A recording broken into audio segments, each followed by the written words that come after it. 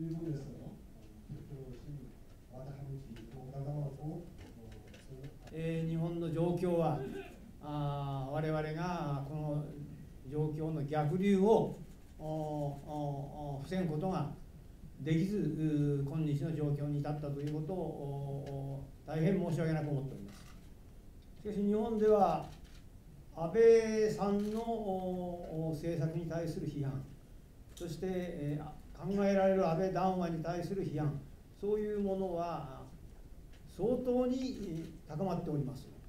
村山談話を守らなければならないということと侵略と植民地支配についてはっきりした反省を述べることが必要だということを明瞭に指摘しています。安倍総理は完全に身体極まったあところに立っております。どういう談話を出すのか。つまり全面的にこの批判を受け入れた声明を、えー、談話を出すのかどうかというところが問われています。あどうか皆さんあ日本の状況について絶望しないでいただきたい、そういうふうに思います。未来を과거로부터 해방시키는 동아시아의 과거로부터의 자유는 찬란한 11 아시아의 시대를 열어젖힐 것이 다. 이 상.